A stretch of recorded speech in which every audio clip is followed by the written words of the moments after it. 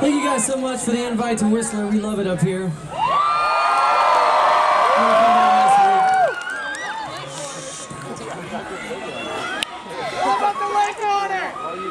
Tonight, uh, Toca and I played songs that we haven't played in years. We've also played songs that we've never played live before.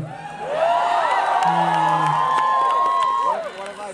tonight kind of like officially kicks off our being back together.